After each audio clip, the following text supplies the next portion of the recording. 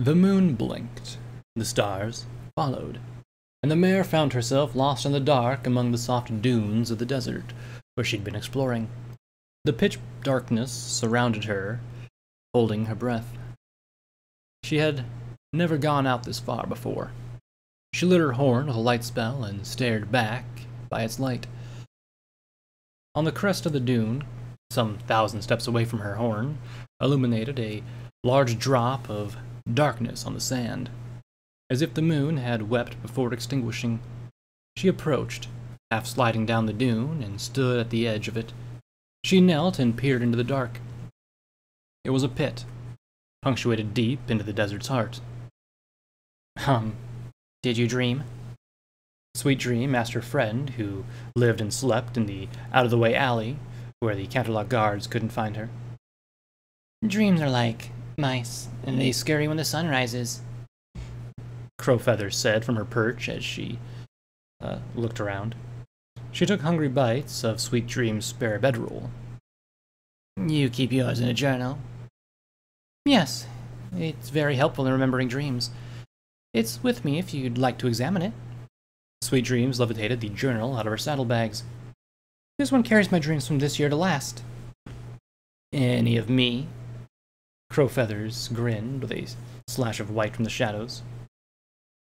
Perhaps, Sweet Dream said with a smile of her own.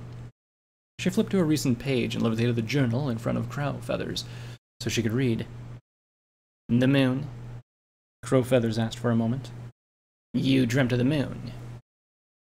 Yes, at the far reaches of my dreams, where I've explored, there's a moon that's unlike ours. Look! Sweet Dream pointed a hoof at some sketches of the moon on the page. It is blank. There's no mare. No mare in the moon. Crowfeather squinted at the sketches.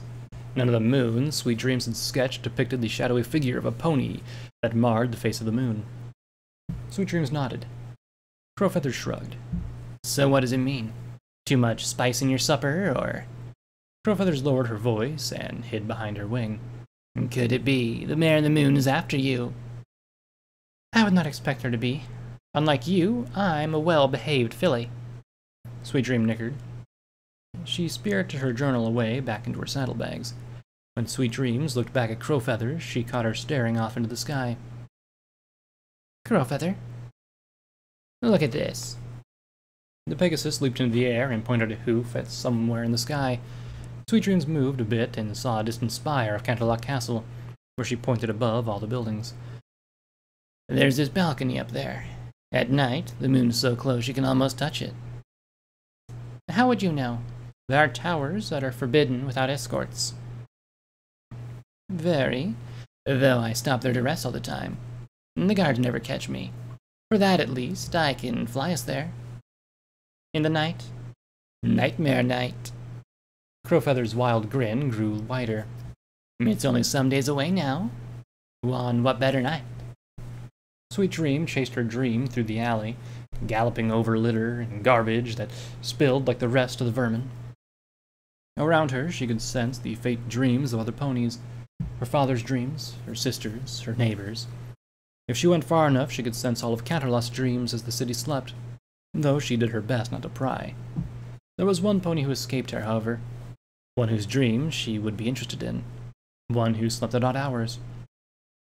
She turned a corner into the dead end, and froze at the sight of the thing in the alley floor. Though, through a knothole in the wooden fence, a stream of sunlight burned with harsh white circle into the dirt. The dreams of their ponies became quiet, and a terrible loneliness settled into Sweet Dream. The drone of the dreams had been a constant weight. Now it was as if she was alone, sleeping in all of Canterlot. She reached out for some pony, any pony who still could be dreaming. She felt the sand against her cheeks before she opened her eyes. When she did, she saw the soft dunes of the desert where she'd been exploring, and the soft black pits of the sand. The moon, mareless, was out, but the stars were not. The desert shined in the glow of it. Reality blurred in Sweet Dream's mind. The words were scrawled into the sand beside the pit, as if by a hoof. Here dreams the mother of darkness. Nightmare night. By the time the two mares set off for the tower, Sweet Dreams latched on to Crowfeather's neck. The moon was already well on its track across the equestrian sky. It appeared to come closer with every labored lap of Star Crowfeather's wings. Sweet Dream held tight as Crowfeathers struggled to draw them to the castle spire. Thankfully, the flight didn't last. Sweet Dreams hopped off Crowfeather's back as they landed on the spacious balcony.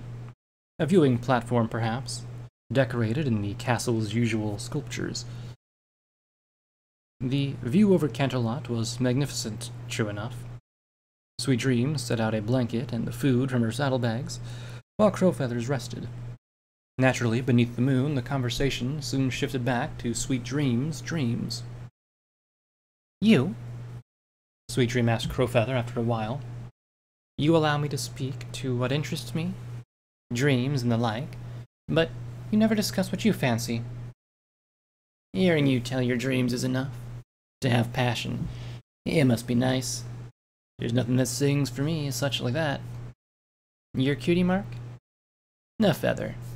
I earned it when I fled home. Living on my own without roots is well and all. I could not live by any other way. Crowfeather sighed.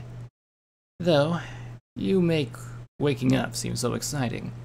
Your dreams expire you, me? There's little for me to wake up for.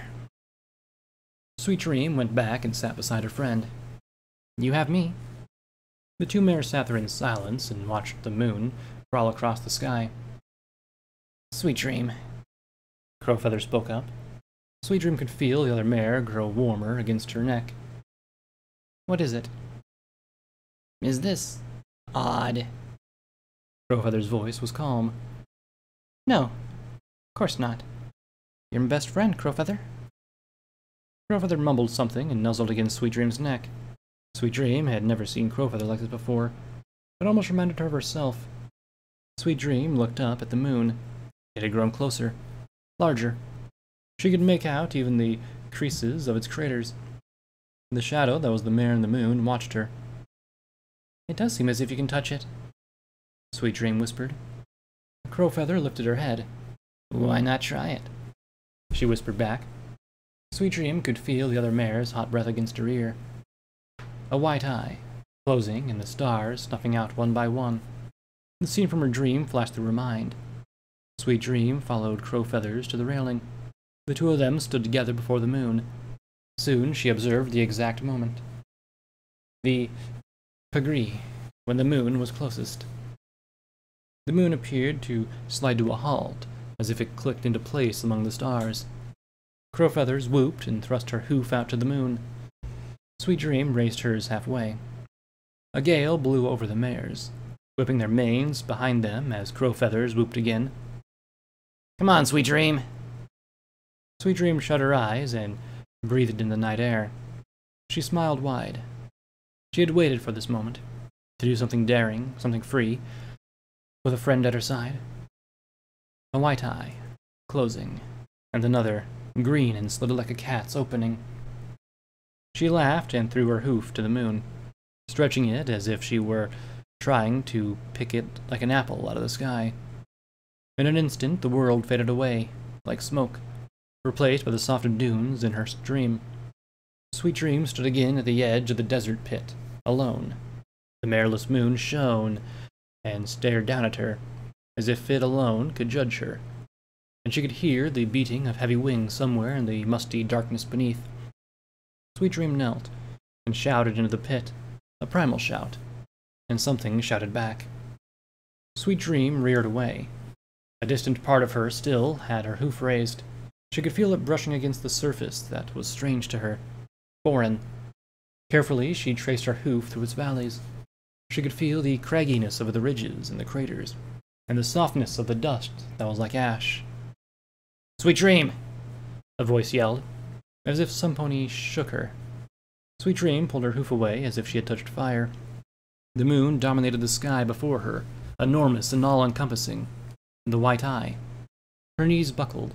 Something pulled hard at her mane, pulling her away from the railing and down to the cold stone floor.